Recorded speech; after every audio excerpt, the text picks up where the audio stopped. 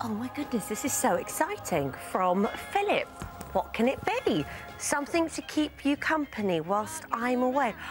Oh my goodness, he's finally come round to my way of thinking. This is the best Christmas present ever. Come on. Oh. Oh, he- hello, Mark. You look so shatteringly disappointed. Oh, no, no, it's not that. It's just that. Oh, no, it's not. Can you bark? It's an odd request. Have a tail? no, don't, don't touch me. I'm having a strop. I'm off. I don't like it. Oh. Good morning. And yes, Mark Durden Smith is here, which But is honestly, just I didn't lovely. like the way you greeted me then. It was a little bit flat. Flat. And I know, and I, and I feel for Phil. You Oh, know, my The mice away and all that, the cat's away, the mice. You've been quite loose with your men.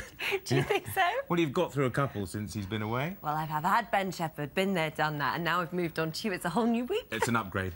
no offence, Ben. How are you? All right? Welcome back. Stop dithering, please. Sorry, I am a, I'm a ditherer. I am I'm, new Holly. Ditherby. Where is she? She's not going to be here. Anyway, welcome back. Uh, still to come, Holby City's Duncan